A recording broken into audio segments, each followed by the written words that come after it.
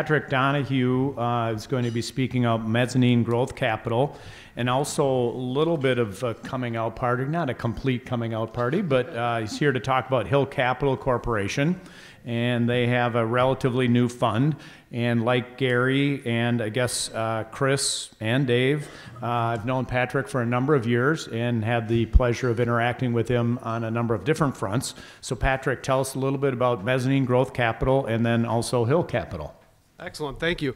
So this is an event I've been the most excited about in a long time because it's a subject that I'm very passionate about because within financing businesses, which has been my pretty much my whole career, um, I've come to realize over the last few years that a lot of people are unfamiliar with all the real options out there. And I've come to realize that a lot of people believe that there's bank financing and then there's pure equity.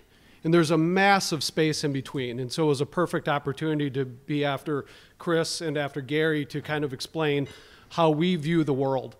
Um, when a company has growth opportunities, but it's not shoot the roof growth opportunities, it is going to be limited in its ability to attract venture capital because that, of course, needs really high uh, rates of return. A bank is going to be limited based on assets and cash flows and so forth. And so we look at the world like what Gary was talking about to come in and to be able to structure financing that matches the need of that business.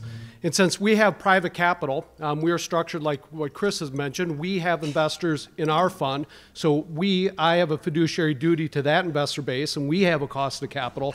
But it is our jobs to go around and turn around and to invest in businesses, and we look to structure those investments in a way that makes sense for that business and for us as investors. So we can be hands on to help them out, but we can also make sure that that cost of capital meets what that business is going to achieve. And so I was really happy to see the breadth of presenters here today to help people understand that you don't need to be the next Google.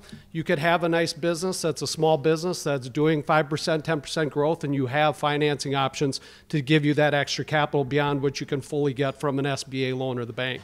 And so that's what we're very interested in providing. Great. Um, before you leave, tell us just a bite size and kind of what uh, Hill Capital's looking for. Yep. Thank you. We are bite size is a half a million to one million dollars. Businesses ideally five million more in revenues, um, and we do have some flexibility on that because again, um, we have a private base of investors. But what we like to tell people is we will take execution risk, but we don't want to take concept risk. And so that's where we shy away from the startups. Great. Thank you very Excellent. much.